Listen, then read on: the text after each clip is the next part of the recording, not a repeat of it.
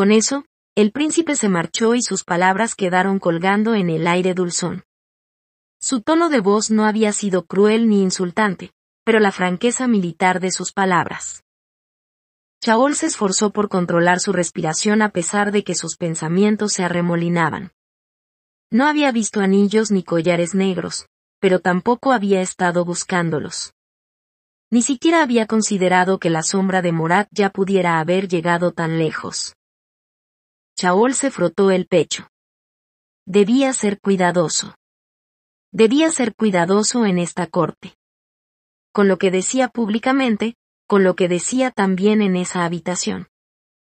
Chaol seguía viendo hacia la puerta cerrada, pensando en todo lo que Cassin había dejado implícito, cuando la doncella emergió, vestida ahora con una bata de seda muy delgada y transparente en vez de la túnica y pantalones.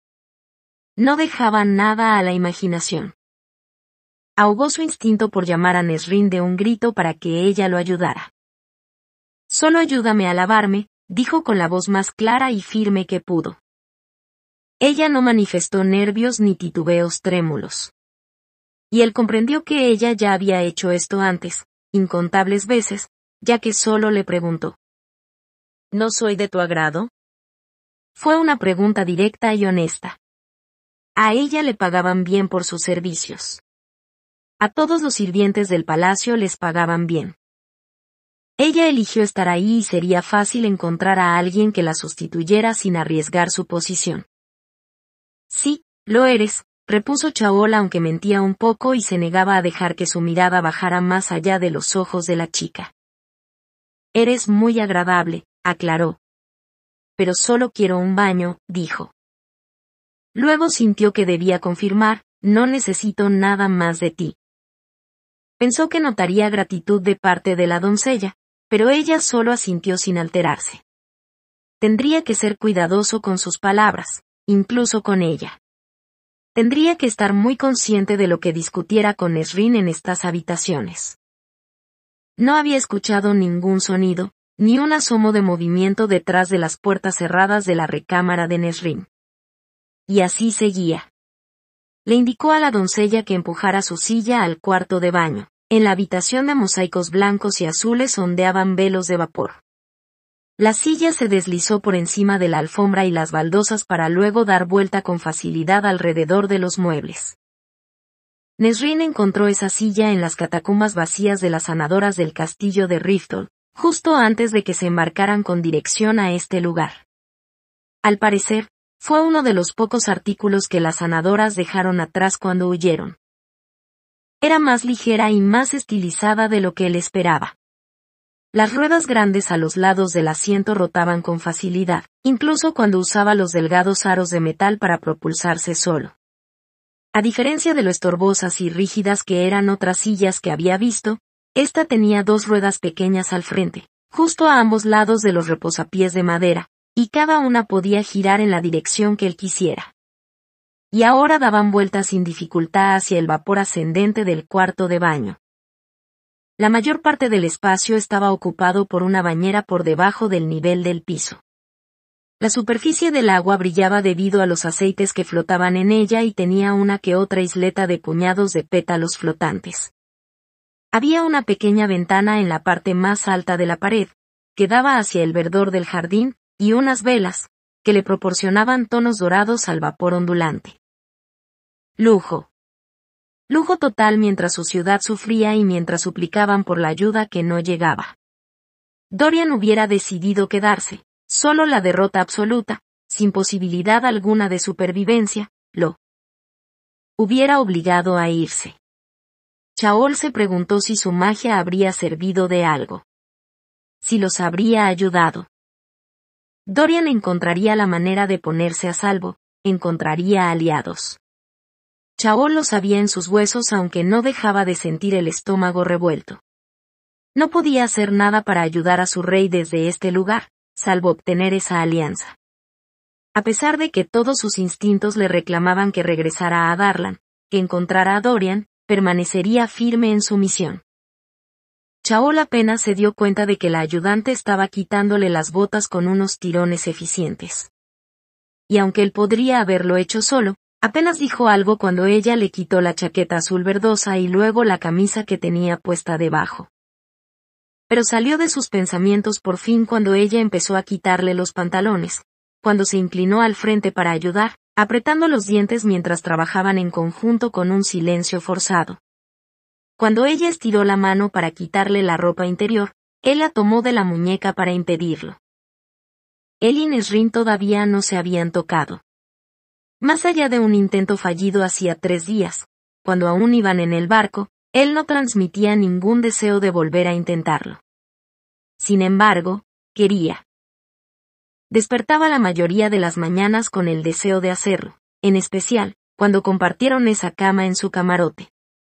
Pero la idea de estar tan quieto y recostado, de no poder tomarla como lo había hecho antes, eso, le había suprimido cualquier lujuria que pudiera empezar a sentir aunque se sentía agradecido de que ciertas partes de su cuerpo sin duda siguieran funcionando. Puedo meterme yo solo, dijo Chaol, y antes de que la doncella pudiera ayudarle a moverse, se valió de toda la fuerza de sus brazos y su espalda, y empezó a levantarse de la silla. Fue un proceso poco ceremonioso, un proceso que ya había aprendido a dominar durante el largo viaje en alta mar. Primero hacía funcionar el mecanismo que bloqueaba el movimiento de las ruedas. El clic hizo eco en las baldosas y el agua.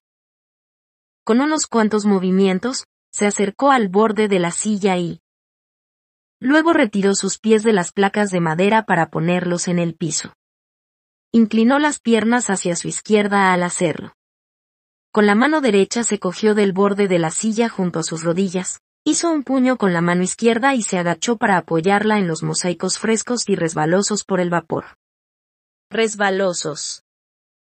La doncella se acercó, colocó una tela gruesa y blanca frente a él y luego retrocedió. Él la miró con una sonrisa tensa de agradecimiento y recargó el puño izquierdo de nuevo en el piso, sobre la tela gruesa, para distribuir su peso en el brazo. Inhaló y, con la mano todavía en la orilla de la silla, bajó su cuerpo con cuidado hacia el piso, alejando su trasero de la silla mientras sus rodillas se doblaban sin que él lo pidiera. Aterrizó con un golpe seco, pero al menos ya estaba en el piso y no se había caído, como le pasó las primeras veces que lo intentó en el barco. Con cuidado, se acercó al borde de las escaleras de la piscina hasta que pudo meter los pies en el agua tibia, justo sobre el segundo escalón. La doncella se metió al agua un instante después, con movimientos agraciados de ave, y su bata translúcida se fue volviendo tan insustancial, como el rocío, cuando el agua empezó a ascender por ella.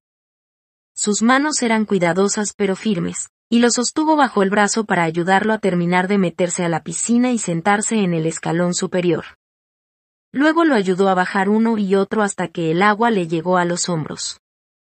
Los ojos de Chaol quedaron al nivel de los grandes senos de la doncella. Ella no pareció darse cuenta. Y él de inmediato apartó la mirada hacia la ventana cuando ella estiró la mano hacia la pequeña bandeja con artículos de baño que había dejado en el borde de la piscina. Aceites, cepillos y paños de aspecto suave. Chaol se quitó la ropa interior cuando ella se dio la vuelta y la colocó con un tronido fuerte y húmedo en la orilla. Nesrin seguía sin salir de su habitación. Así que Chaol cerró los ojos y se dejó atender por la doncella sin dejar de pensar en qué demonios iba a hacer. Capítulo 4 De todas las habitaciones de la Torre Sesme, esta era la que más le gustaba a Erin Towers. Tal vez porque la habitación, localizada en la punta de la torre de rocas claras, con el enorme complejo de edificios abajo, tenía vistas inigualables de los atardeceres de Antica tal vez porque era el sitio donde había sentido el primer asomo de seguridad en casi diez años. El sitio donde vio por primera vez a la mujer anciana que ahora se sentaba del otro lado del escritorio lleno de papeles y libros, y donde escuchó las palabras que lo cambiaron todo. Eres bienvenida aquí, Erin Towers. Habían pasado dos años desde aquel día.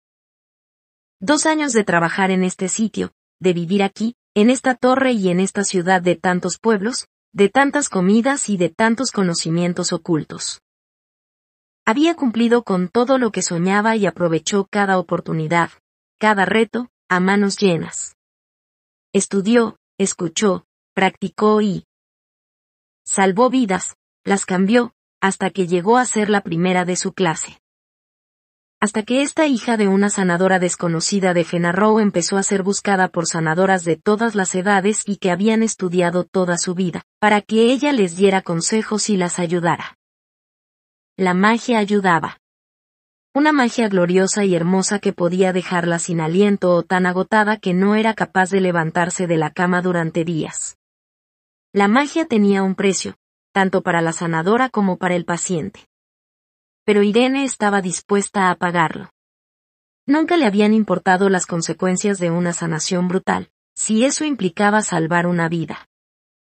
Silva le concedió el don y una joven desconocida le dio otro regalo la última noche que pasó en Inis hacía dos años atrás.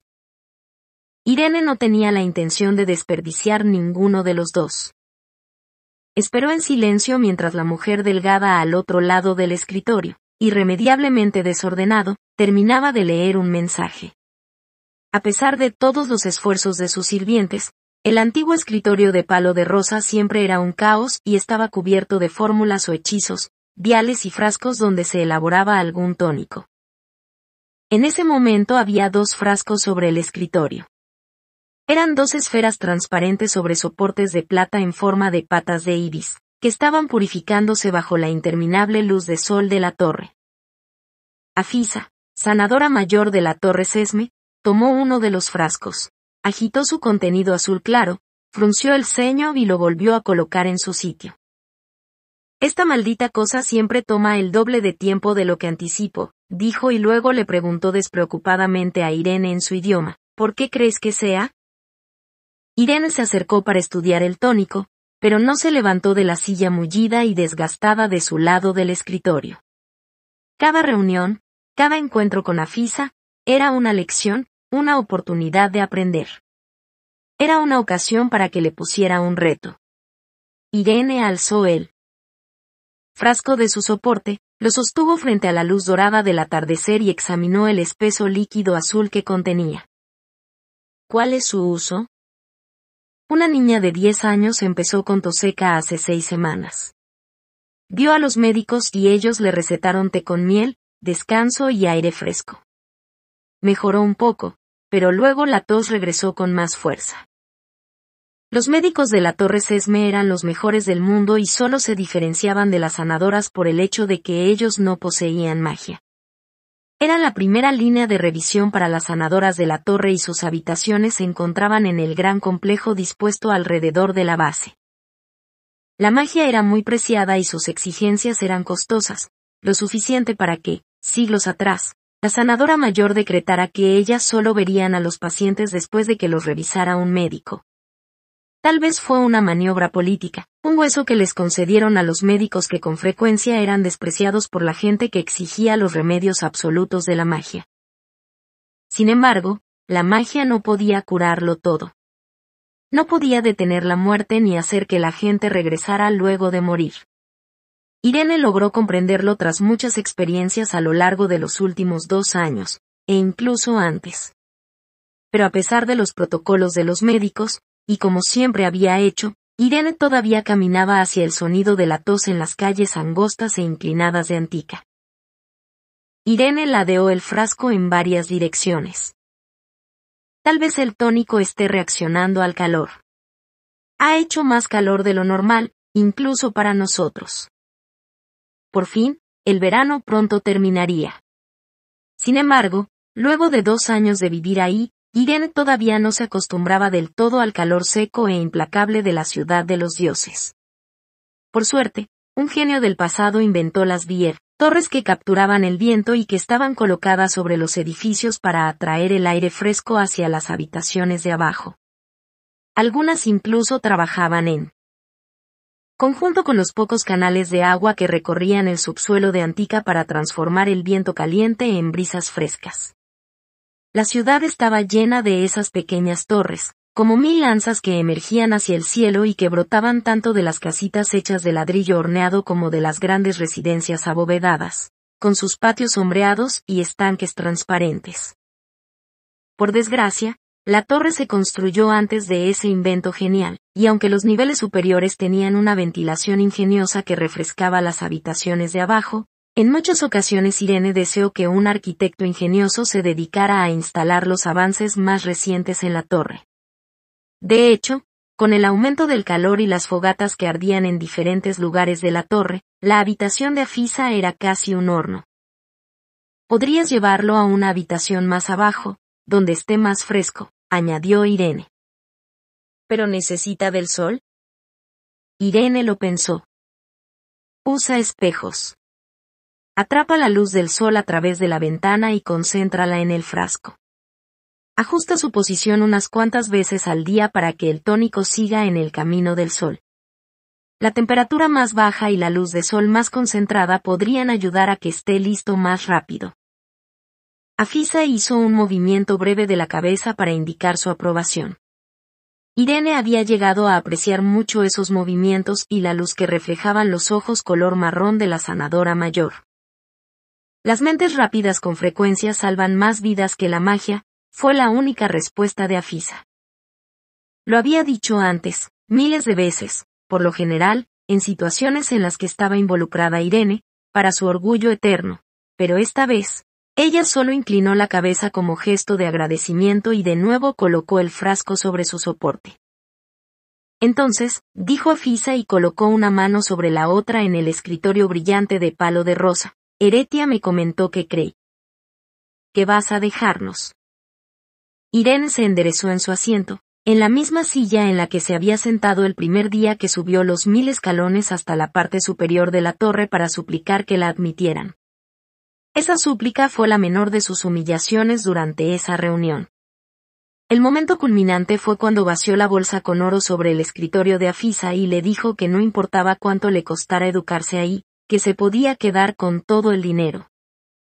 No sabía que Afisa no aceptaba dinero de sus estudiantes. No, ellas pagaban por su educación de otras maneras.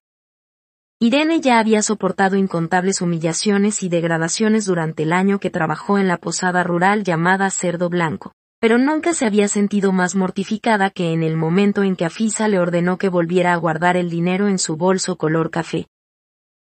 Mientras recogía el oro del escritorio, como un jugador de naipes que se apresura a recolectar sus ganancias. Irene se preguntó si no sería preferible cruzar el arco de las ventanas que se elevaban a espaldas del escritorio de Afisa y saltar al vacío. Muchas cosas habían cambiado desde aquel día. Ahora ya no usaba ese vestido de harapos y ya no tenía el cuerpo demasiado delgado. Irene suponía que las interminables escaleras de la torre le ayudaban a conservar la línea ahora que consumía alimentos sanos de manera regular, gracias a las enormes cocinas de la torre, los incontables mercados llenos de puestos de comida y los comedores públicos que había en casi todas las calles transitadas y callejones sinuosos. Irene tragó saliva una vez e intentó sin éxito dilucidar qué significaba la expresión de la sanadora mayor. Afisa era la única persona de ahí que Irene no podía leer, que no podía anticipar. Nunca le levantó la voz ni mostró un solo destello de mal humor, cosa que no se podía decir de muchas de las instructoras, en especial de Heretia. Afisa solo tenía tres expresiones, complacida, neutral y decepcionada. A Irene le aterraban las últimas dos. Pero no era porque la castigara. Eso no sucedía. No le limitaban sus raciones de comida y no la amenazaban con castigos dolorosos. A diferencia de cómo la trataban en el cerdo blanco, donde Nolan le condicionaba la paga si hacía algo indebido, si era demasiado generosa con un cliente, o si la descubría por la noche dejando las obras afuera para los niños casi salvajes que recorrían las calles sucias de Inis. Cuando llegó a Antica, pensó que las cosas serían iguales, que la gente le quitaría el dinero, que le dificultarían que se marchara. Pasó un año trabajando en el cerdo blanco porque Nolan le aumentaba la renta, le disminuía el salario o no le daba sus escasas propinas completas. Por otro lado, sabía que la mayoría de las mujeres en Inis trabajaban en la calle. La posada, por asquerosa que fuera, era una alternativa mucho mejor. Se dijo a sí misma que nunca más lo volvería a aceptar, hasta que llegó a este lugar. Hasta que dejó caer su oro sobre el escritorio de Afisa, decidida a empezar de nuevo, a endeudarse y venderse, solo por tener la oportunidad de aprender. Afisa ni siquiera consideró semejante alternativa. Su trabajo se oponía directamente a las personas que hacían eso, a la gente como Nolan. Irene todavía recordaba la primera vez que escuchó a Afisa decir, con ese acento fuerte y hermoso, casi las mismas palabras que le había repetido su madre, no le cobrarían, ni estudiantes ni a pacientes, por lo que Silva, diosa de la sanación, les había concedido sin costo. En una tierra de tantos dioses, donde Irene seguía sin estar segura de cuál era cuál, por lo menos Silva permanecía constante. Esta era otra de las medidas ingeniosas que tomó el Kaganato para unir los reinos y territorios que fue anexando a lo largo de los años de conquista, conservar y adaptar los dioses de todos. Incluyendo a Silva, cuyo dominio sobre la sanadora se definió en estas tierras mucho tiempo atrás. La historia, aparentemente, la escribían los victoriosos. Eso le dijo Heretia, su tutora directa, alguna. ¿Ves? Y era cierto, hasta para los dioses que no gozaban de más inmunidad frente a esto que los simples mortales. Pero eso no evitó que Irene dedicara una oración a Silva y a los dioses que estuvieran escuchando cuando respondió al fin. Estoy lista, sí. Para dejarnos, unas palabras tan simples, pronunciadas con ese rostro neutro, tranquilo y paciente. ¿O has considerado la otra opción que te presenté? Irene la había considerado. No había dejado de pensar en eso desde que Afisa la llamó a esta oficina, hacía dos semanas, para decirle la única palabra que podía hacerla sentir como si un puño le estrujara el corazón. Quédate.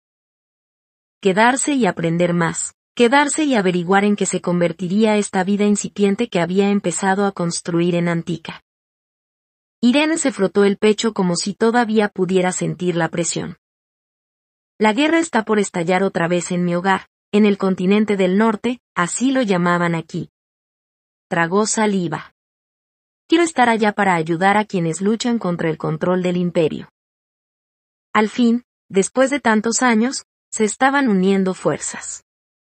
Si los rumores eran ciertos, Adarlan había quedado destrozado a manos del mismo Dorian Hevelier en el norte y del lugarteniente del rey muerto, el duque Perrington, en el sur.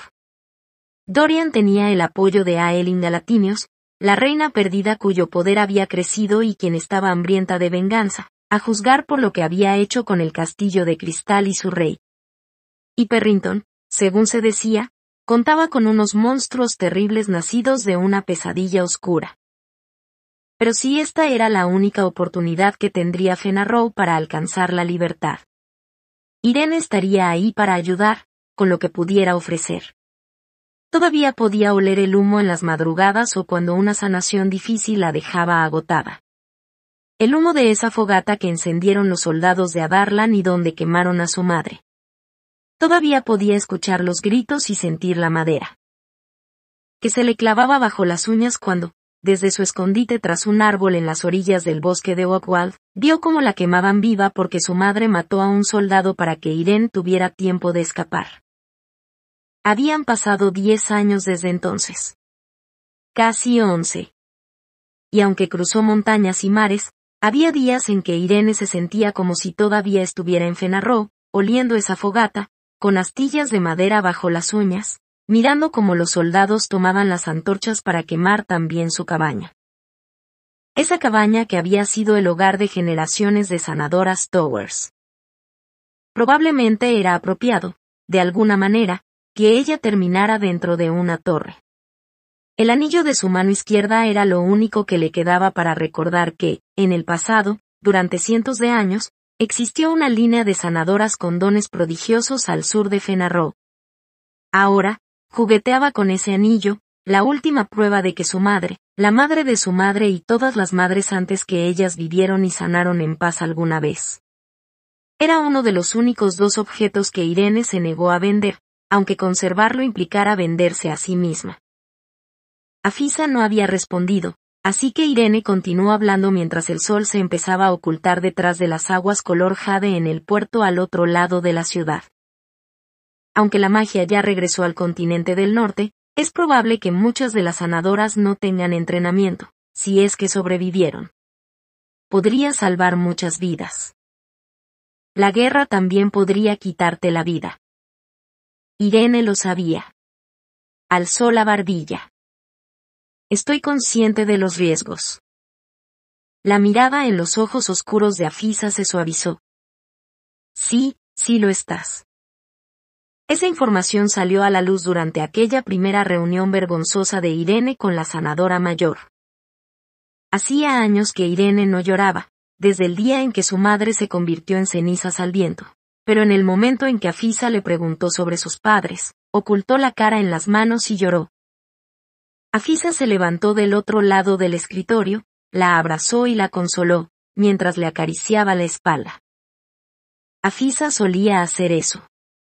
No solo con Irene, sino con todas las sanadoras. Cuando pasaban largas horas trabajando, cuando ya tenían contracturas en la espalda y la magia las había drenado por completo pero seguía sin ser suficiente, su presencia silenciosa y constante les daba fuerza, las tranquilizaba. Afisa era lo más parecido a una madre para Irene, desde que ésta tenía once años. Y ahora, a unas semanas de cumplir 22, dudaba de volver a encontrar algún día a alguien como ella. Ya hice los exámenes, dijo Irene, aunque Afisa ya lo sabía. Ella se los aplicó en persona y supervisó la semana pesada de exámenes que evaluaban su conocimiento, habilidad y práctica con pacientes. Irene se aseguró de obtener las mejores calificaciones de su grupo. Obtuvo la calificación más cercana a la perfección que se hubiera obtenido en la torre. Estoy lista. Vaya que lo estás. Y de todas maneras me pregunto cuánto más podrías aprender en cinco o diez años si aprendiste tanto en dos. Irene resultó demasiado talentosa para empezar su entrenamiento con las acólitas en los niveles inferiores de la torre. Siempre acompañó a su madre, desde que tuvo edad de caminar y hablar. Aprendió poco a poco, a lo largo de los años, igual que todas las sanadoras de su familia. A los 11 años, Irene ya había aprendido más de lo que la mayoría aprendería en otra década. Incluso, durante los siguientes seis años, cuando fingía ser una trabajadora ordinaria en la granja de la prima de su madre, la familia no estaba segura de qué hacer con ella. No querían conocerla en realidad porque la guerra y Adarlan podrían destruirlos a todos, siguió practicando en secreto. Pero no demasiado y no de manera demasiado notoria. Durante esos años, los mismos vecinos podían denunciarla ante la más mínima mención de magia. Y aunque la magia había desaparecido y, con ella, el don de Silva, Irene fue cuidadosa de aparentar ser solamente un miembro más de la familia de granjeros. Tal vez podía revelar que la abuela le había enseñado algunos remedios naturales para las fiebres, los dolores de parto, las torceduras o los huesos rotos, pero nada más.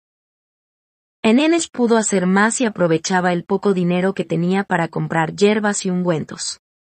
Aunque con frecuencia no se atrevía a usarlos porque Nola ni su camarera predilecta, Yesa, la observaban noche y día. Por ello, estos últimos dos años en Antica quiso aprender todo lo posible y, además, había sido un tiempo de liberación tras años de reprimir, mentir y ocultarse. El día que desembarcó y sintió cómo se removía su magia, que sintió como ese poder intentaba acercarse a un hombre que cojeaba por la calle, ese día entró en un estado de conmoción continuo hasta que, tres horas después, terminó llorando en la misma silla que ocupaba ahora.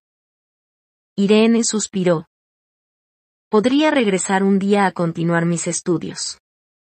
Pero, con el debido respeto, ya soy una sanadora formada. Y podía aventurarse donde su don la llamara. Afisa arqueó las cejas blancas que tanto contrastaban con su piel morena. ¿Y qué me dices del príncipe Casim? Irene se reacomodó en la silla. ¿Qué hay de él? Eran buenos amigos. Él sigue apreciándote y eso no es algo para tomar a la ligera. Irene le dirigió una mirada a la sanadora mayor que pocos se hubieran atrevido a hacer. ¿Él va a interferir con mis planes de irme? Es un príncipe y nunca se le ha negado nada, salvo la corona que desea. Es posible que descubra que no puede tolerar tu partida. La desesperanza recorrió todo su cuerpo, empezó por su columna y terminó enroscada en el fondo de su estómago.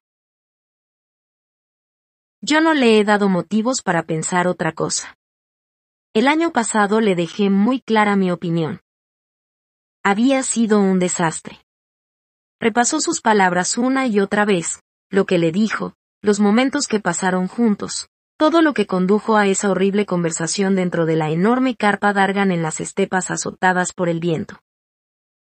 Todo empezó unos meses después de su llegada a Antica, cuando se enfermó uno de los sirvientes predilectos de Cassim. Para sorpresa de Irene, el príncipe permaneció al lado de la cama del enfermo.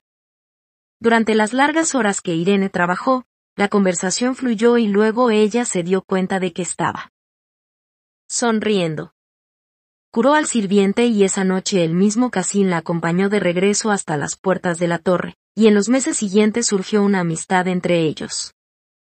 Tal vez era una amistad más libre, más liviana, que la que también terminó formando con la princesa Azar después de contribuir a curarla de otros padecimientos. Y aunque fue difícil para Irene encontrar compañeras en la torre debido a los conflictos de horarios, hizo amistad con el príncipe y la princesa, al igual que con la amante de Azar, la dulce reñía, que era igual de hermosa por dentro y por fuera. Formaban un grupo extraño pero, a Irene le agradaba esa compañía y las cenas a las que la invitaban Cassim y Azar, aunque ella sabía que en realidad no tenía razón para estar ahí.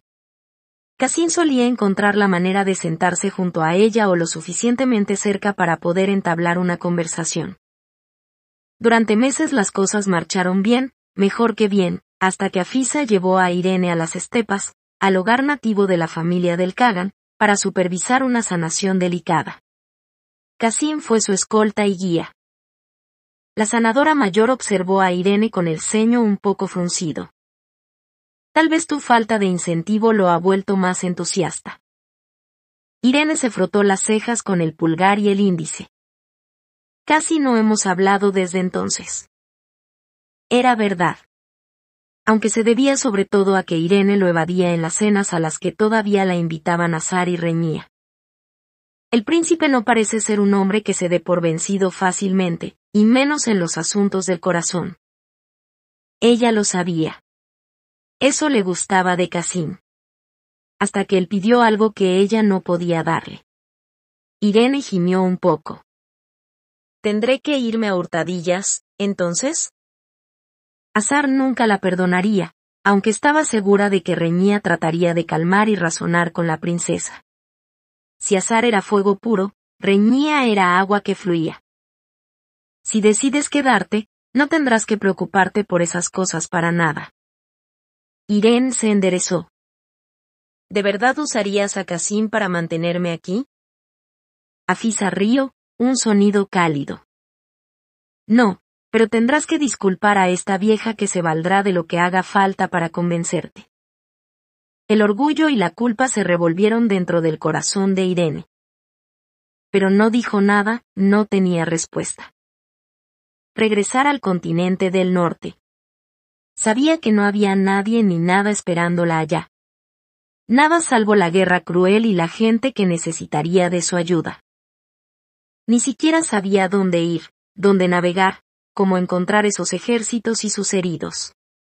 Anteriormente había viajado lejos, había evadido a enemigos decididos a masacrarla, y solo de pensar en volver a hacer todo eso. Sabía que varios la tacharían de loca. De malagradecida tras la oferta que Afisa acababa de hacerle. Ya tenía bastante tiempo pensando esas cosas de sí misma. Sin embargo, no pasaba ni un solo día sin que Irene mirara hacia el mar al pie de la ciudad y dirigiera su vista al norte. Como si fuera un imán, el horizonte distante atrajo la atención de Irene, quien apartó la mirada de la sanadora mayor y vio el atardecer por las ventanas a sus espaldas. No hay prisa para decidir. Las guerras son largas, dijo por fin Afisa, con un poco más de delicadeza. Pero voy a necesitar. Me gustaría que antes me ayudaras con un trabajo, Irene. Irene se quedó inmóvil al escuchar el tono, lo imperativo de su voz, y miró la carta que Afisa leía cuando ella entró a su oficina. Dime. Hay un invitado en el palacio, un invitado especial del Kagan. Te pido que lo atiendas antes de que decidas si es el momento de dejar estas costas o si es mejor quedarse. Irene ladeó la cabeza. Era raro, muy raro, que Afisa le cediera una petición del Kagan a alguien más. ¿Qué tiene? Era la pregunta normal y estándar de cualquier sanadora al recibir un caso. Es un hombre joven, de 23 años. Sano en todos los aspectos, en buena condición física. Pero sufrió una lesión grave en la columna a principios del verano que lo dejó paralizado de la cadera hacia abajo.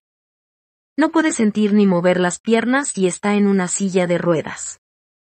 Voy a saltarme la evaluación inicial del médico y te pediré que lo veas directamente. Irene sintió que su mente se removía. Sanar ese tipo de lesiones requería de un proceso largo y complejo. Las columnas eran casi tan difíciles como los cerebros, estaban conectadas muy de cerca con ellos. Con ese tipo de curación, no bastaría que su magia inundara la zona dañada, así no funcionaba. Tendría que encontrar las conexiones y sitios correctos, encontrar la cantidad adecuada de magia que debía usar. Tendría que hacer que el cerebro enviara nuevamente, a través de esas conexiones rotas, las señales a la columna. Tendría que reemplazar los núcleos más pequeños de vida dentro del cuerpo, por unos nuevos y frescos. Y, además, el paciente tendría que volver a aprender a caminar. Semanas. Tal vez meses. Es un joven activo, dijo Afisa. La lesión es similar a la del guerrero que ayudaste el invierno pasado en las estepas. Irene ya había deducido eso. Era probable que por eso le estuvieran solicitando que lo atendiera. Había pasado dos meses sanando al jinete que cayó de su montura y se lastimó la columna. Era una lesión bastante común entre los Dargan, la tribu de la que descendía la familia del Kagan, ya que algunos montaban caballos y otros volaban en ruks. Siempre contaban con las sanadoras de la torre para que los atendieran. La primera vez que Irene puso en práctica sus estudios sobre el tema fue cuando trabajó con ese guerrero y, precisamente, por ese motivo Afisa la acompañó a las estepas. Irene se sentía bastante segura de que podría realizar esta sanación por su cuenta, pero la manera en que Afisa miró la carta, solo una vez, la hizo titubear y preguntarle. ¿Quién es él? Lord Westfall, un nombre que no pertenecía al caganato. Afisa agregó sin retirar la vista de los ojos de Irene. Era el capitán de la guardia del rey de Adarlan y ahora es la mano del nuevo rey. Silencio. Irene se quedó en silencio en su mente y en su corazón. Lo único que se alcanzaba a escuchar en la oficina de Afisa eran las gaviotas volando sobre la torre y, al otro lado de los muros altos del complejo, los gritos de los vendedores callejeros que habían terminado su día de trabajo y se marchaban a sus casas. No. La palabra brotó de Irene como una exhalación. Los labios delgados de Afisa formaron una línea apretada. No, repitió Irene. No lo voy a sanar. El rostro de Afisa perdió todo lo maternal y suave cuando le recordó a Irene. Hiciste un juramento al entrar a este recinto. No, fue lo único que se le ocurrió responder. Estoy consciente de lo difícil que debe ser para ti. A Gioin le empezaron a temblar las manos. No. ¿Por qué? Tú sabes por qué, las palabras le brotaban como de un susurro estrangulado. Tete, tú lo sabes. Si ves soldados adarlanianos sufriendo en esos campos de batalla, ¿pasarás a pisotones por encima de ellos? Afisa nunca había sido tan cruel con ella. Irene empezó a frotar el anillo que traía puesto. Si él era el capitán de la guardia del último rey, entonces él. Él trabajó para el hombre que, las palabras se le salieron a tumbos de la boca. Recibió órdenes de él. Y ahora trabaja para Jorian Hevillier. Que disfrutó de las riquezas de su padre, las riquezas de mi gente. Aunque Jorian Hevillier no participara, El hecho de que no interviniera mientras todo estaba sucediendo, los muros de roca clara empezaron a cerrarse sobre ella, incluso la torre sólida bajo sus pies pareció tambalearse. ¿Sabes lo que hicieron los hombres del rey estos años? ¿Qué hicieron sus ejércitos, sus soldados, sus guardias?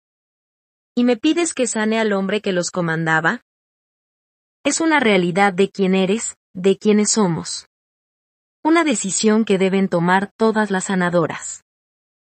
¿Y tú la has tomado con frecuencia? ¿En tu reino pacífico? El rostro de Afisa se oscureció. No por la ira sino por un recuerdo. En una ocasión me pidieron que sanara a un hombre que resultó lesionado al tratar de evadir su captura, luego de haber cometido un delito terrible. Los guardias me dijeron cuál había sido su delito antes de que yo entrara a la celda. Querían que el hombre sobreviviera para poder enjuiciarlo. Sin duda lo iban a ejecutar. Las víctimas estaban dispuestas a atestiguar y había muchas pruebas. Heretia atendió personalmente a la última víctima. La última víctima de ese hombre. Ella reunió toda la evidencia necesaria se presentó en la corte y lo condenó por lo que había observado, Afisa tragó saliva. Lo encadenaron en una celda. Estaba tan mal herido que yo supe, supe que podría usar mi magia para hacer que empeorara la hemorragia interna. Nadie se enteraría. Amanecería muerto y nadie se atrevería a cuestionarme, se quedó mirando con atención el frasco de tónico azul. Eso fue lo más cerca que estuve de matar. Quería matarlo por lo que había hecho. El mundo iba a ser un mejor lugar si lo mataba. Tenía las manos sobre su pecho, estaba lista para hacerlo. Pero recordé. Recordé el juramento que hice y recordé que me habían pedido que lo sanara para que viviera y se hiciera justicia, por las víctimas y sus familias, vio a Irene a los ojos. No me correspondía encargarme de esa muerte. ¿Qué sucedió? preguntó Irene con voz temblorosa. Intentó alegar inocencia. A pesar de la evidencia que presentó Heretia, a pesar de lo que la víctima estaba dispuesta a decir. Era un monstruo hecho y derecho. Lo condenaron y lo ejecutaron al amanecer del día siguiente. ¿Viste la ejecución? No. Regresé aquí. Pero Heretia, sí. Se quedó de pie frente a la multitud y ahí permaneció hasta que se llevaron el cadáver en una carreta. Se quedó por las víctimas que no pudieron soportar verlo. Luego regresó aquí y ambas lloramos un largo, largo rato. Irene se quedó en silencio unos momentos, lo necesario para que se le aquietara el temblor de las manos. Entonces debo sanar a este hombre, para que enfrente a la justicia en otra parte? No conoce su historia. Irene. Sugiero que le escuches antes de llegar a una conclusión. Irene negó con la cabeza. No habrá justicia para él, no si estuvo al servicio del viejo rey y ahora del nuevo. No si fue tan astuto como para lograr permanecer en el poder. Sé cómo funciona a Darlan. Afisa la miró un rato. El día que llegaste a esta habitación, tan terriblemente delgada y cubierta por el polvo de cientos de caminos. Nunca había percibido un don semejante. Miré en tus ojos hermosos y casi no pude contener mi grito al sentir el poder puro que tenías dentro. Decepción. Lo que se podía notar en el rostro de la sanadora mayor, en su voz, era decepción. Pensé entonces, continuó Afisa, ¿dónde se ha estado ocultando esta joven? ¿Qué Dios te crió, te guió, hasta mi puerta? Tenías el vestido todo desgarrado en los tobillos, pero entraste con la espalda recta y el porte de una mujer noble. Como si fueras la mismísima heredera de Kamala. Eso hasta que Irene dejó caer el dinero sobre el escritorio para luego derrumbarse. Dudaba que la primera sanadora mayor de la historia hubiera hecho algo así en su vida. Incluso tu apellido, Towers. Un indicio de la asociación antigua de tu línea materna con la torre, tal vez. Me pregunté en ese momento si al fin habría hallado a mi heredera, a quien me reemplazaría. Irene sintió esas palabras como un golpe en el estómago. Afisa nunca había siquiera insinuado. Quédate, le había pedido la sanadora mayor. No solo para continuar con el entrenamiento, sino también para recibir la estafeta que le estaba ofreciendo. Pero Irene nunca había sentido la ambición de ocupar esa habitación. Sobre todo ahora que tenía la mira puesta al otro lado del mar angosto. Aunque era una distinción indescriptible, se sentía falsa. Te pregunté qué querías hacer con el conocimiento que yo te proporcionaría, continuó Afisa. ¿Recuerdas lo que me respondiste? Irene sí lo recordaba. No lo había olvidado ni por un instante. Dije que quería utilizarlo para hacer el bien en el mundo. Para hacer algo con mi vida inútil y desperdiciada. Esas palabras la habían guiado esos años, junto con la nota que portaba a diario, que cambiaba de bolsillo a bolsillo, de vestido a vestido. Palabras de una desconocida misteriosa, tal vez una diosa que vestía la piel de una joven golpeada, cuyo regalo de oro le había permitido llegar hasta acá, palabras que la habían salvado. Y así será, Irene, dijo Afisa. Un día regresarás a casa y harás el bien, harás maravillas. Pero antes de hacer eso, haz lo que te pido. Ayuda a este joven. Has hecho este tipo de sanación antes, lo puedes volver a hacer. ¿Por qué no lo puedes hacer tú? Irene nunca había sonado tan negativa, tan malagradecida. Afisa le sonrió triste y brevemente. No se necesita mi sanación. Irene sabía que la sanadora mayor no se refería a la sanación del hombre. Tragó saliva con dificultad porque se le empezaba a cerrar la garganta. Tienes una herida en el alma, Irene. Y dejar que siga carcomiéndote estos años, no puedo culparte. Pero sí te responsabilizaré si permites que se convierta en algo peor. Y lloraré por ti si es así. A Yoin le temblaron un poco los labios, pero los apretó y parpadeó para evitar que empezaran a resbalársele las lágrimas por la cara. Aprobaste los exámenes mejor que cualquier otra persona que haya subido a esta torre, dijo Afisa con suavidad, pero esta será mi prueba personal para ti. La última. Para que cuando decidas irte pueda despedirme, enviarte a la guerra y saber, se puso la mano en el pecho, saber que donde sea que te conduzca tu camino, a pesar de la oscuridad, estarás bien. Irene se tragó el pequeño sonido que intentó brotar de sus labios y miró hacia la ciudad hacia sus rocas resplandecientes bajo. Los últimos rayos del sol que se ocultaba. A través de las ventanas abiertas detrás de la sanadora mayor, la brisa nocturna con olor a lavanda y clavo revoloteó por la ventana. Le refrescó el rostro y despeinó un poco la nube de pelo blanco sobre la cabeza de Afisa. Irene metió la mano al bolsillo de su vestido azul claro y sus dedos se envolvieron alrededor de la suavidad familiar del trozo de pergamino doblado. Lo apretó, como lo hacía con frecuencia en el barco de camino a Antica, como lo hacía esas primeras semanas de incertidumbre, incluso después de que Afisa la admitiera, y también durante las largas horas, los arduos días y los momentos de entrenamiento que casi la destruyeron. Una nota de la desconocida que le salvó la vida y la liberó en cuestión de horas. Irene nunca supo su nombre, esa joven que lucía sus cicatrices como otras damas lucen sus joyas más finas. Esa joven asesina profesional que le pagó la educación a una sanadora. Tantas cosas, tantas cosas buenas habían empezado esa noche. Irene a veces se preguntaba si en realidad había sucedido. No le sorprendería que todo hubiera sido un sueño, de no ser por la nota que traía en el bolsillo y por el segundo objeto que ella nunca vendió, ni siquiera cuando el oro empezó a terminarse el prendedor de oro ornamentado con rubí que valía más que todas las casas de varias calles en Antica. Los colores de Adarlan. Irene nunca supo de dónde provenía la joven ni quién le había dado esa golpiza que le dejó moretones en su hermoso rostro, pero hablaba de Adarlan de la misma manera que Irene. De la misma forma que todos los niños que lo perdieron todo en Adarlan, esos niños cuyos reinos habían quedado reducidos a cenizas, sangre y ruinas.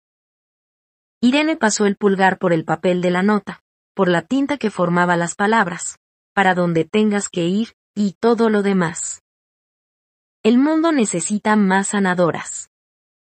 Irene inhaló la primera brisa de la noche, el olor de las especias y el agua salada que entraba a la torre. Por fin volvió a mirar a Afisa. La sanadora mayor tenía el rostro tranquilo, paciente. Irene se arrepentiría si se negaba.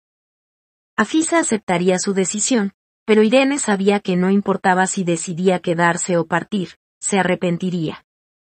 Regresaría a este momento. Se preguntaría si se había comportado malagradecida después de la extraordinaria amabilidad con la que la habían recibido. Se preguntaría qué hubiera pensado su madre de su decisión. Y aunque ese hombre fuera de Adarlan, aunque hubiera acatado las órdenes de ese carnicero. Me reuniré con él. Lo valoraré, concedió Irene. La voz le tembló ya solo un poco.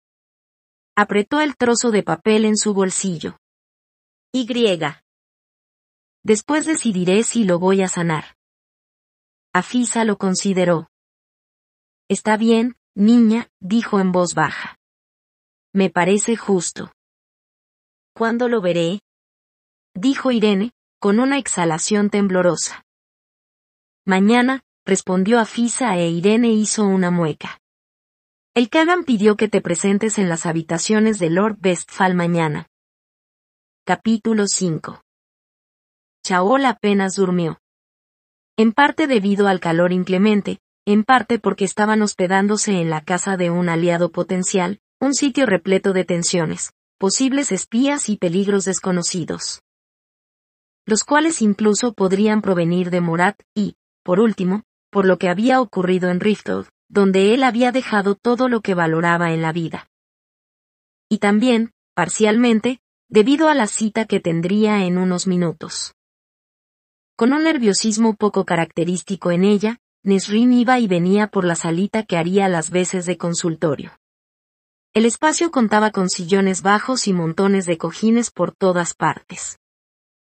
Los pisos relucientes estaban salpicados de alfombras de tejidos finos y densos, elaboradas por las mejores artesanas del occidente, le señaló Nesrin a Chaol, el espacio estaba adornado con arte y tesoros de todo el caganato y había macetas con palmeras algo.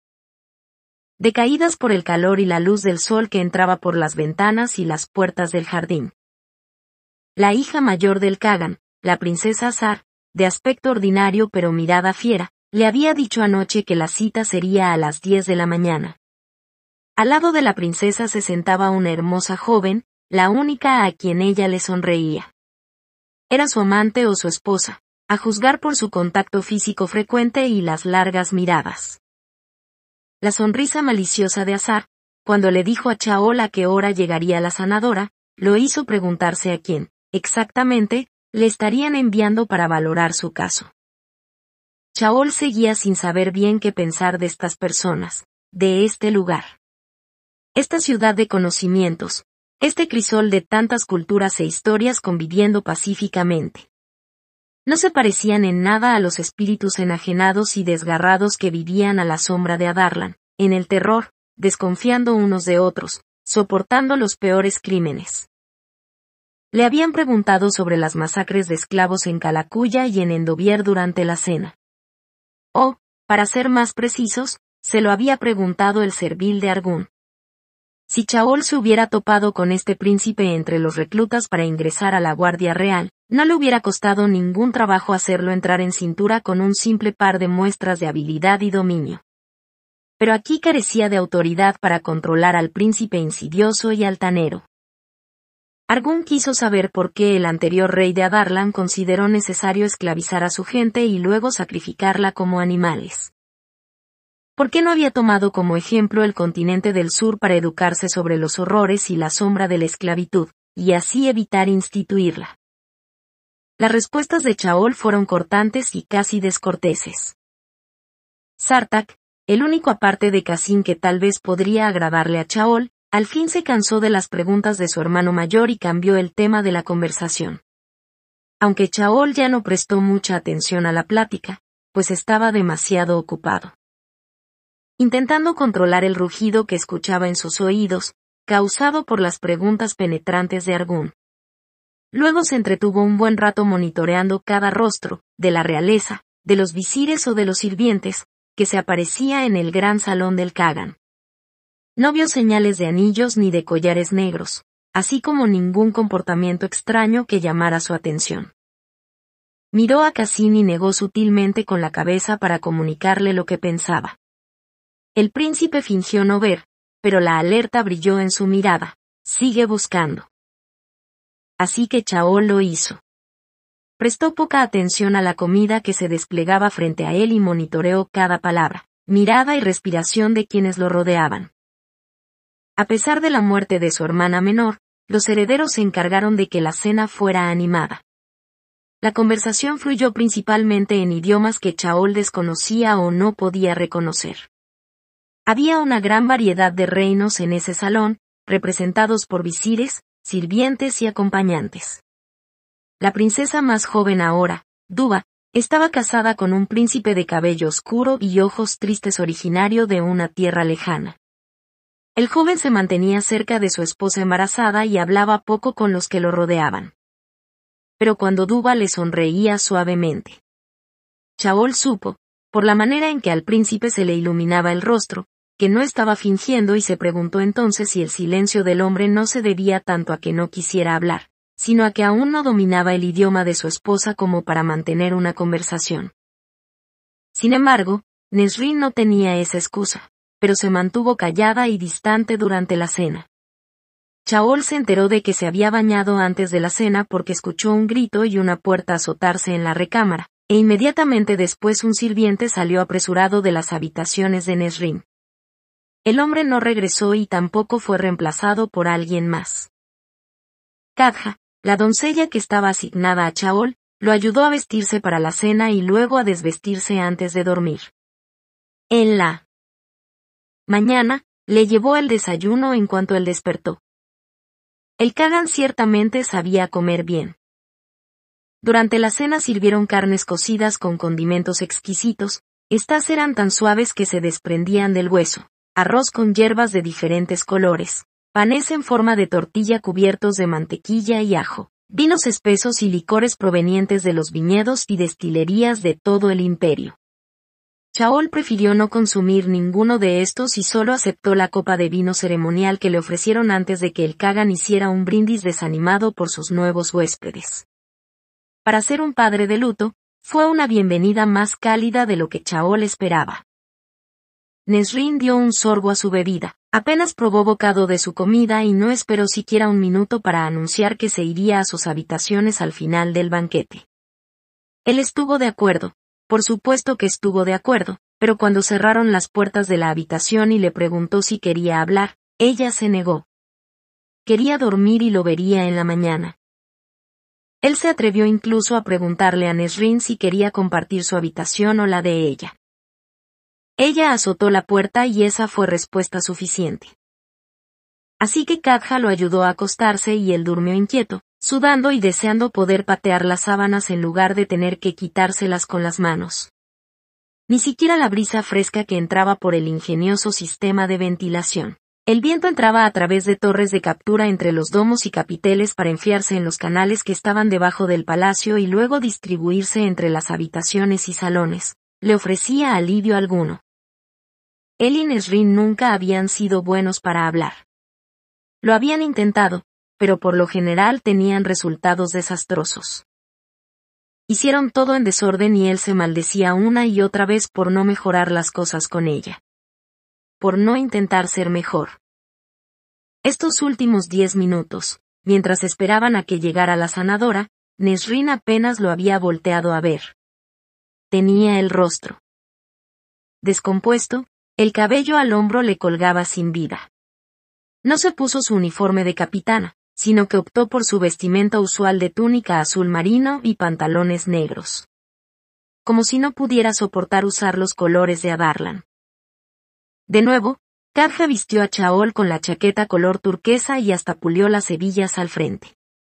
Su trabajo reflejaba un orgullo discreto que contrastaba con la timidez y temor de tantos sirvientes del castillo en Riftol. Ya es tarde, murmuró Nesrin. Y era cierto, en la esquina, El reloj ornamentado de madera anunciaba que la sanadora tenía diez minutos de retraso. ¿Deberíamos llamar a alguien para que nos indique si va a venir? Dale tiempo. Nesrin se detuvo frente a él y frunció el ceño. Necesitamos empezar de inmediato. No hay tiempo que perder. Chaol inhaló profundamente. Comprendo que quieras regresar a casa con tu familia. No te apresuraré. Pero incluso un día puede marcar la diferencia. Él notó las líneas de tensión que le enmarcaban la boca. No dudó que unas iguales se estarían formando en su cara. Esa mañana requirió de toda su fuerza de voluntad para obligarse a dejar de pensar y temer por el lugar en donde podría estar Dorian. Cuando llegue la sanadora, ¿por qué no vas a buscar a tu familia en la ciudad?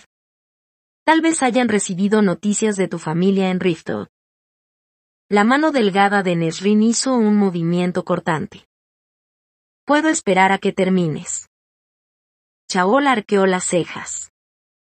¿Y tenerte aquí caminando por la habitación todo el tiempo? Nesrin se dejó caer en el sofá más cercano y la seda dorada suspiró bajo su peso ligero. Vine a ayudarte, con esto y con nuestra causa. No me iré corriendo a cubrir mis necesidades. ¿Y si te doy una orden?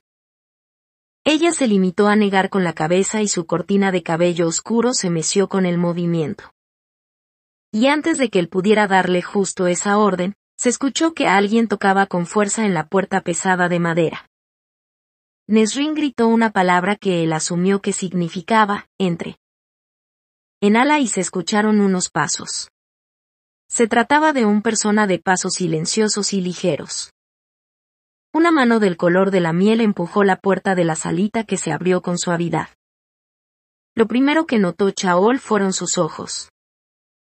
Probablemente, esta chica hacía que la gente se parara en seco con esos ojos de un tono marrón dorado, los cuales parecían iluminados desde el interior. Su cabello era una cascada pesada de marrones oscuros y destellos de oro, curvaba un poco en las puntas que casi llegaban a su estrecha cintura. Se movía con gracia elegante. Sus pies, enfundados en zapatillas prácticas color negro, se desplazaban rápidos y seguros al cruzar la habitación. Al parecer no notaba o no le importaba la decoración y el mobiliario ornamentados que en ella había. Era joven, tal vez uno o dos años por arriba de los veinte. Pero esos ojos, eran mucho más viejos. Se detuvo junto a la silla tallada de madera frente al sillón dorado. Nesrin se puso de pie de un salto. La sanadora, porque no podía tratarse de ninguna otra persona a juzgar por esa gracia tranquila, esos ojos despejados y ese vestido azul claro de muselina. Los miró a los dos. Era varios centímetros más baja que Nesrin, pero de una delicada complexión similar. Sin embargo, a pesar de su cuerpo delgado. Chaol no quiso concentrarse demasiado en las otras características que la sanadora tenía en abundancia. ¿Eres de la Torre Sesme? Preguntó Nesrin en la lengua de Chaol la sanadora se limitó a verlo a él. Algo similar a la sorpresa y la rabia destellaban de esos ojos sorprendentes. Metió la mano en el bolsillo de su vestido y él esperó a que sacara algo, pero la sanadora dejó la mano adentro, como si estuviera sosteniendo un objeto. La sanadora no era como una cervatilla lista para huir, sino como un ciervo adulto que sopesa las opciones de luchar o escapar, de mantenerse firme, con la cabeza agachada y lista para atacar. Chaol le sostuvo la mirada, sereno y tranquilo. Había lidiado con bastantes jóvenes impulsivos durante sus años como capitán y había logrado que todos ellos obedecieran.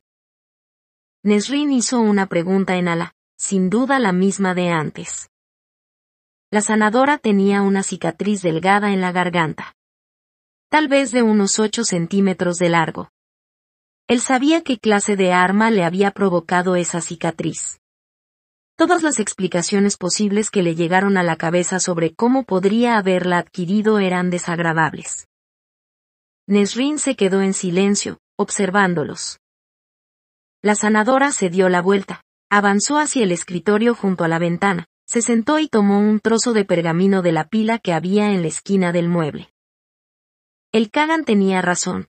Quienquiera que fueran estas sanadoras, ciertamente no respondían a su trono, ni les impresionaban en lo más mínimo la nobleza ni el poder. La sanadora abrió un cajón, encontró una pluma de vidrio y la sostuvo sobre el papel. Nombre. No tenía acento o, mejor dicho, no tenía el acento de estas tierras. Kel Westfall. Edad. Ese acento. Era de. Fenarrow. Ella detuvo la pluma. Edad. ¿Eres de Fenarrow? Él preguntó mientras pensaba, ¿qué estás haciendo aquí, tan lejos de casa? Ella lo miró fija y fríamente, impasible. 23, Chaol respondió y tragó saliva. Ella apuntó algo. Describe dónde empieza la lesión. Cada una de sus palabras era cortante y dicha con voz baja. ¿Había sido un insulto que le asignaran su caso? ¿Ella tenía otras cosas que hacer cuando la llamaron aquí? Volvió a pensar en la sonrisa malévola de Azar la noche anterior. Tal vez la princesa sabía que esta mujer no se distinguía por su buen trato con los pacientes. ¿Cómo te llamas? Nesrin preguntó y su expresión ya empezaba a manifestar cierta tensión. La sanadora se quedó inmóvil y miró a Nesrin parpadeó, como si su presencia le hubiera pasado desapercibida hasta ese momento. ¿Eres, eres de aquí? formuló la sanadora como respuesta. Mi padre era de aquí, respondió Nesrin. Se mudó a Adarlan, se casó con mi madre y ahora tengo familia allá, y aquí. Con un talento admirable logró ocultar toda señal de temor al mencionarlos agregó una insinuación, me llamo Nasren Falek. Soy la capitana de la Guardia Real de Adarlan. La sorpresa en la mirada de la sanadora se convirtió en recelo, pero de nuevo miró a Chaol. Ella sabía quién era él, su mirada la delataba, el análisis en sus ojos. Sabía que él había tenido ese cargo y que ahora tenía otro. Así que el nombre, la edad, esas preguntas eran una tomada de pelo, o un trámite burocrático inútil. Chaol dudó que fuera lo segundo. Una mujer de Fenarrow frente a dos miembros de la corte de Adarlan. No era complicado leerla y entender lo que ella veía. De dónde podría provenir esa marca en su cuello. Si no quieres estar aquí, le dijo Chaol con brusquedad, que envíen a alguien más. Nesrin volteó a verlo al instante. La sanadora le sostuvo la mirada. Nadie más puede hacerlo. Las palabras que no pronunció les comunicaron el resto. Enviaron a la mejor. Con ese porte inmutable y seguro, Chaol no lo dudaba. Ella volvió a posicionar la pluma. Descríbeme dónde empieza la lesión. Que envíen a alguien más. Alguien tocó con fuerza la puerta de la habitación y rompió el silencio. Chaol se sobresaltó y se reprendió por no haber escuchado que alguien se aproximaba. Era la princesa Azar, vestida de verde y dorado, con una sonrisa burlona de gato. Buenos días, Lord Westfall. Capitana Falik, el cabello trenzado de Azar se mecía con cada paso altanero que daba. Caminó hacia la sanadora, que la miraba con una expresión que Chaol calificaría como de exasperación, y se inclinó para besarle ambas mejillas. Por lo regular no estás tan gruñona, Irene. Ahí estaba, un nombre. Olvidé mi cabe esta mañana. Se refería a la bebida espesa, especiada y amarga que Chaol se bebió a la fuerza con el desayuno. Era un gusto adquirido, le afirmó Nesrin cuando le preguntó, la princesa se sentó en la orilla del escritorio. No viniste a cenar anoche. Cassin se puso triste. Irene tensó los hombros. Tenía que prepararme. ¿Erin Towers encerrada en la torre para trabajar? No lo puedo creer. Me voy a morir de la sorpresa. Por el tono de voz de la princesa, Chaol intuyó lo demás. La mejor sanadora de la Torre Sesme se había ganado esa posición gracias a una agotadora ética de trabajo. Azar lo miró. ¿Sigues en la silla? La sanación toma tiempo, le dijo Irene a la princesa con cordialidad. No se escuchaba nada de servilismo ni respeto en su tono de voz. Apenas vamos a empezar. ¿Entonces accediste a hacerlo? Irene miró a la princesa con severidad. Estamos evaluando las necesidades de Lord, movió la barbilla hacia las puertas. ¿Te busco cuando termine? Nesrin miró a Chaol con expresión impresionada y recelosa. Una sanadora estaba echando a la princesa del imperio más poderoso del mundo. Azar se inclinó para despeinar el cabello castaño dorado de Irene. Si no estuvieras tan bendecida por los dioses, te arrancaría la lengua con mis propias manos, dijo con palabras que derramaban dulce veneno. Irene solo respondió con una sonrisa tenue y divertida. Azar bajó de un salto del escritorio e inclinó la cabeza a modo de burla hacia Chaol. No te preocupes, Lord Westfall. Irene ha sanado lesiones similares y peores que la tuya.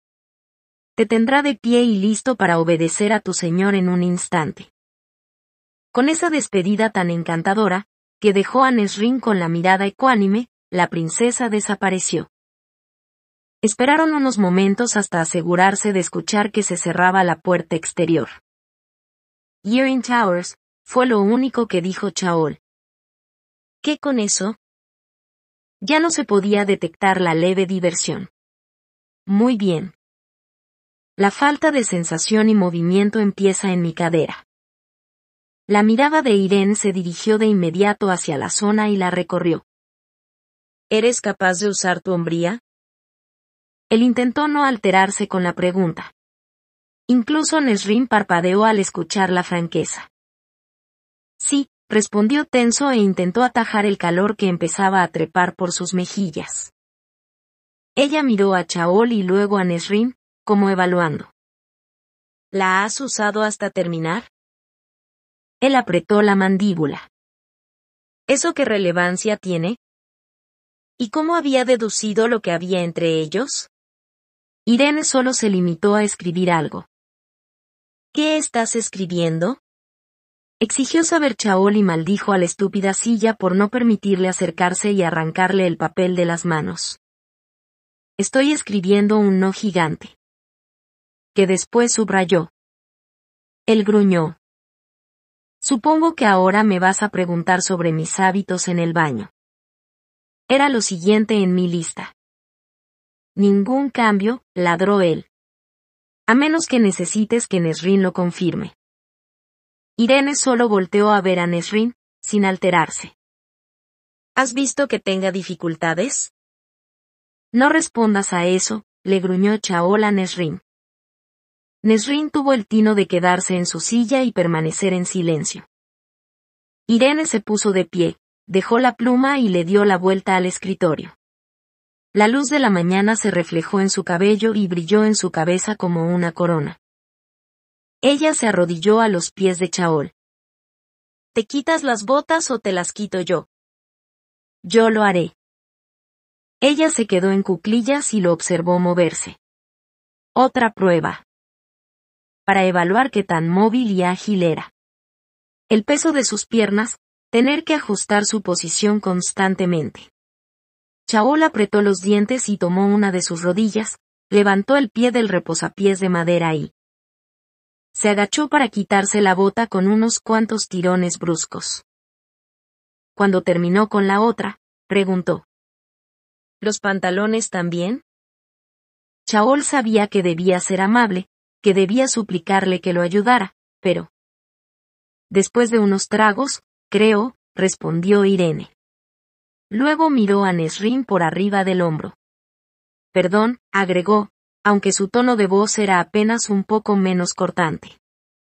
¿Por qué estás disculpándote con ella? Asumo que tiene la desgracia de compartir tu cama estos días. Chaol tuvo que hacer acopio de todo su autocontrol para no tomarla de los hombros y darle una buena sacudida. ¿Te hice algo? Eso pareció hacerla titubear.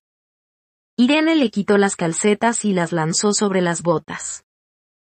No. Una mentira. La pudo oler y saborear. Pero eso la ayudó a concentrarse y Chao la observó levantarle el pie con las manos delgadas. La miró porque no podía sentirla más allá del movimiento en sus músculos abdominales. No podía distinguir si lo estaba apretando o sosteniendo con suavidad, si le estaba enterrando las uñas, no sin ver. Así que miró. Ella tenía un anillo en el cuarto dedo, una argolla de matrimonio. ¿Tu esposo es de aquí? O su esposa, supuso. No sin ver. Así que miró. No estoy, Irene parpadeó y frunció el ceño al ver el anillo. No terminó de responder. Entonces no estaba casada. El anillo de plata era sencillo, el granate apenas una gota. Probablemente lo usaba para que los hombres no la molestaran, como había visto hacer a muchas mujeres en las calles de Riftol. ¿Puedes sentir esto? Preguntó Irene. Estaba tocando cada dedo. No. Hizo lo mismo con el otro pie. ¿Y esto? No. Chaol ya había pasado por este tipo de revisiones, en el castillo y con Rowen. Su lesión inicial, intervino Nesrin, como si recordara al príncipe también, fue en toda la columna. Un amigo sabía un poco de sanación y lo curó lo mejor que pudo. Recuperó el movimiento del torso, pero no debajo de la cadera. ¿Cómo se hizo la lesión? Irene movía las manos sobre su pie y su tobillo, dando golpecitos y haciendo pruebas. Como si hubiera hecho esto antes, como dijo la princesa Azar.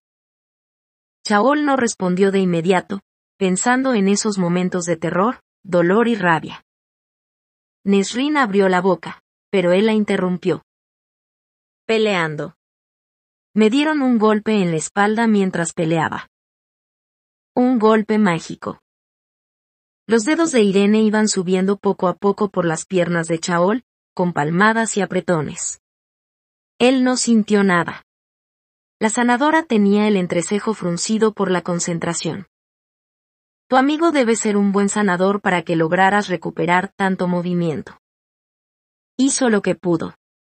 Luego me dijo que viniera para acá. Ella empujó y presionó sus muslos y él la miró con un creciente terror mientras iba subiendo sus manos más y más. Estaba a punto de preguntarle si planeaba comprobar por ella misma la información sobre su hombría, pero Irene levantó la cabeza y lo miró a los ojos. A esa distancia, sus ojos eran como una flama dorada. No como el metal frío de los ojos de Manon Picos Negros, no llenos de un siglo de violencia e instintos depredadores, sino, como una flama que arde largamente en las noches de invierno. Necesito ver tu espalda, fue lo único que dijo Irene. Entonces se separó. Recuéstate en la cama más cercana. Antes de que Chaol pudiera recordarle que eso no era tan sencillo, Nesrin de inmediato se puso en movimiento y lo llevó a su habitación.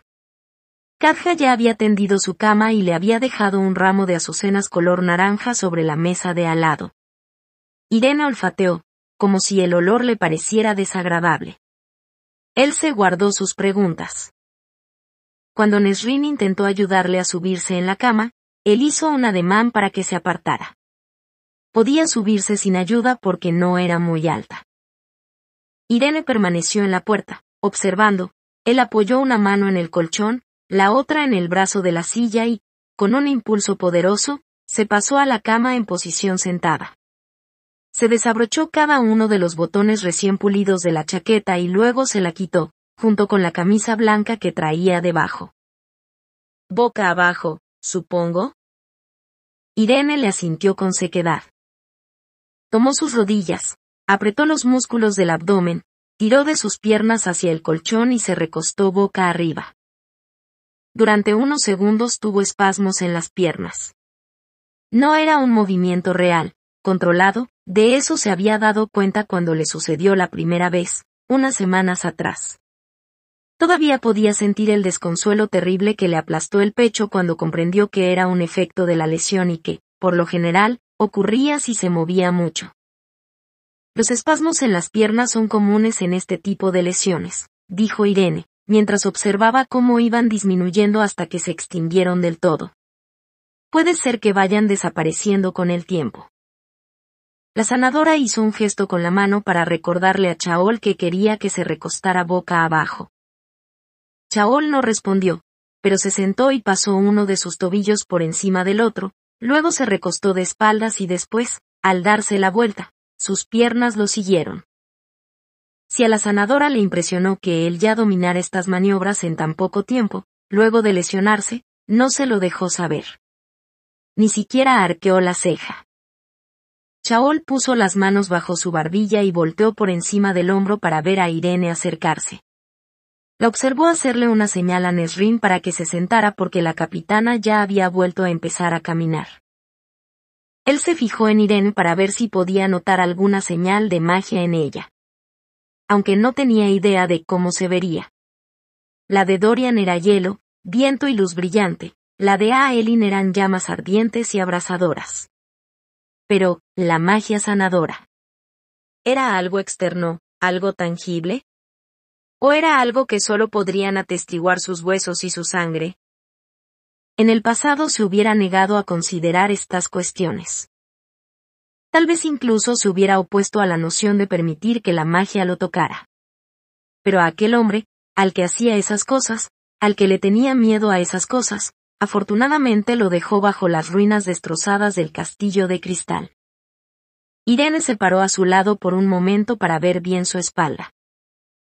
Tenía las manos cálidas, como el sol de la mañana, cuando las colocó, palmas abajo, en la piel entre sus omóplatos. Aquí fue el golpe, dijo en voz baja. Tenía una marca. Una palidez tenue y salpicada en la piel donde lo golpeó la magia del rey. Dorian le había mostrado su espalda con un truco de dos espejos antes de marcharse. Sí. Las manos le recorrieron el centro de la espalda, sobre la columna. Bajó por aquí, rasgando y rompiendo. La sanadora no le estaba diciendo esas palabras a él, sino que era como si estuviera hablando sola, perdida en una especie de trance. Chao luchó contra el recuerdo de ese dolor, el entumecimiento y la oquedad que acopiaba. Eso, eso se puede notar. Preguntó Nesrin. Mi don me lo dice, la mano de Irene estaba detenida a la mitad de su espalda, empujando y tocando. Fue un poder terrible, lo que te golpeó. Sí, fue lo único que respondió Chaol. La sanadora continuó bajando las manos hasta que se las metió por debajo de la cintura de los pantalones unos cuantos centímetros. El siseó entre dientes y miró por encima de su hombro. Me podrías haber advertido. Irene no le hizo caso y tocó la parte más baja de su espalda. Él no lo sintió.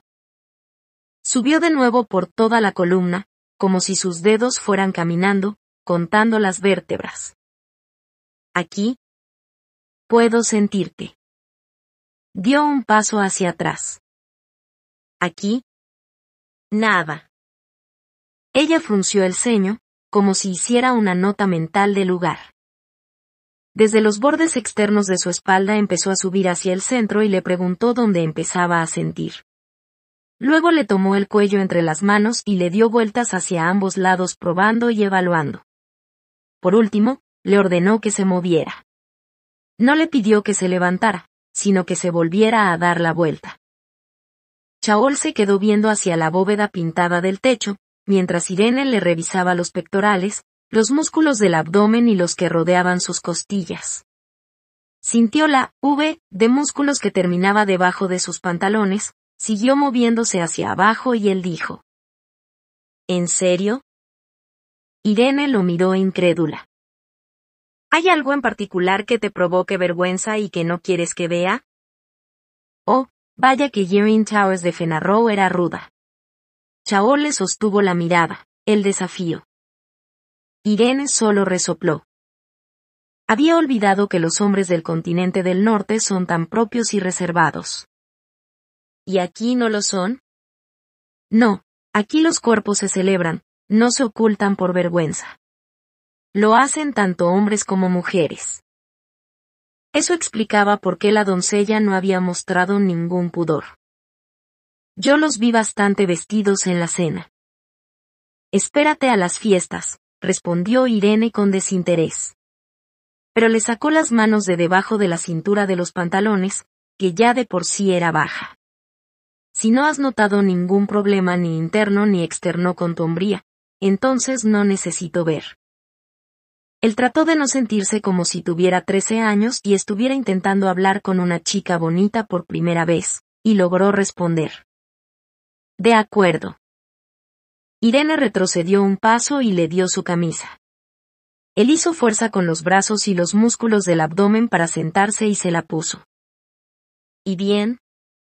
preguntó Nesrin, acercándose con cautela. Irene se puso a jugar con un rizo pesado que se le había soltado del peinado. Necesito pensar. Hablar con mi superior. Pensé que tú eras la mejor, dijo Nesrin con cautela. Soy una de las muchas que tienen la capacidad, admitió Irene. Pero la sanadora mayor me asignó este caso. Me gustaría consultar con ella primero. ¿Es grave? Exigió saber Nesrin. Chaol agradeció que ella hiciera la pregunta que él no se atrevía a hacer. Irene miró directamente a Chaol, con franqueza y sin temor. Tú sabes qué tan grave es. ¿Pero le puedes ayudar? Repitió Nesrin con más insistencia. He sanado este tipo de lesiones. Pero esta, aún no lo sé. Respondió Irene y la miró a los ojos. ¿Cuándo? ¿Cuándo lo sabrás? Cuando haya tenido tiempo para pensar. Chaol se percató de que quería tiempo para decidir. Quería decidir si lo ayudaría. Volvió a sostenerle la mirada a Irene, dejándole ver que él, por lo menos, si había entendido. Por lo menos, pues Nesrin ni siquiera había contemplado esa idea. De lo contrario, Chaol tenía la impresión de que Irene ya hubiera terminado de cara contra la pared. Pero para Nesrin, las sanadoras estaban más allá de todo reproche. Eran tan sagradas como los dioses del lugar.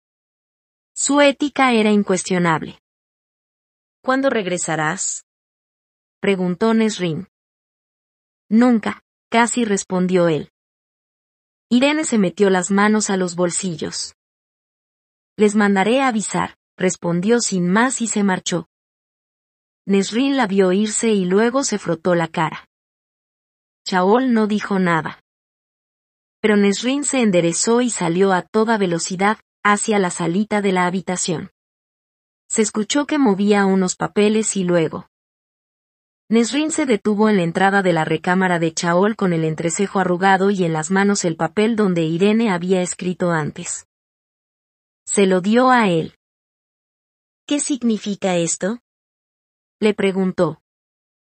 El papel tenía cuatro nombres escritos con letra descuidada. Olgnia. Marte. Rosana. Josefín. El último nombre estaba escrito varias veces. El último nombre estaba subrayado una y otra vez. Josefín. Josefín. Josefín. Tal vez sean otras sanadoras de la torre que podrían ayudar. Mintió él. Tal vez le dio miedo que algún espía le escuchara proponernos a alguien más. La boca de Nesrin se torció un poco. Veamos qué dice, cuando regrese. Al menos sabemos que Azarla puede localizar si hace falta. Ocasim, cuya simple mención había tensado visiblemente a la sanadora. No podría forzar a Irene a que lo sanara, pero, esa era información útil. Chaol volvió a estudiar el papel. El subrayado insistente de ese último nombre como si Irene necesitara recordarlo mientras estuvo con ellos. En su presencia. Como si necesitara que esas personas supieran que ella las recordaba. Él conoció a otra sanadora talentosa de Fenarro, Su rey la había amado lo suficiente como para considerar fugarse con ella y buscar juntos una vida mejor. Chaol sabía lo que había sucedido en Fenarrow cuando eran jóvenes. Sabía lo que Sorcha había soportado allá, y lo que había soportado en Riftol. También había recorrido a caballo muchos pastizales devastados en Fenarrow a lo largo de los años. Había visto las cabañas de roca, quemadas o abandonadas, sin sus techos de palma desde hacía mucho tiempo. Los dueños estaban esclavizados, muertos o habían huido a otras partes, muy, muy lejos. Chaol supo entonces, con ese papel en la mano, que no, Yearing Towers no regresaría.